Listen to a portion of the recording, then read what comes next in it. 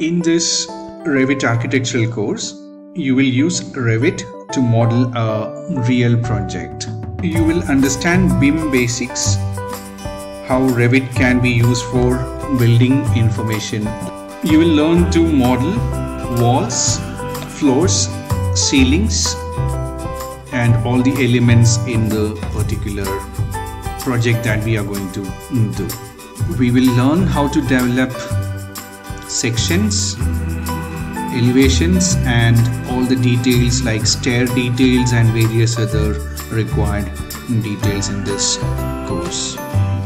We will also learn how to put these details into a sheet, the plans into a sheet, elevations into a sheet and then produce a quick printable drawing in this format.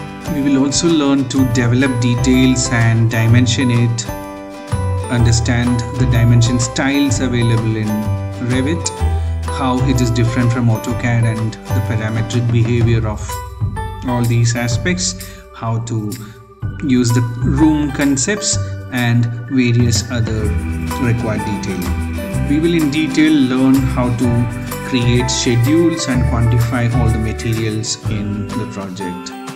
In detail, we will learn the coordination aspects if it is a multidisciplinary drawing.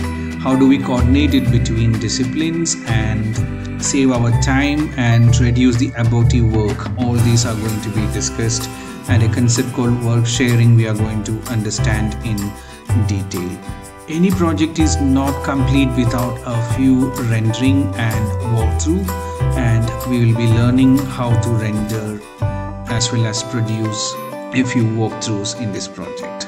All in all, this is a comprehensive Revit architecture course where you are going to learn most of the basics and fundamentals of BIM using Revit and it is useful for architects as well as civil engineers who aspire into Revit architecture.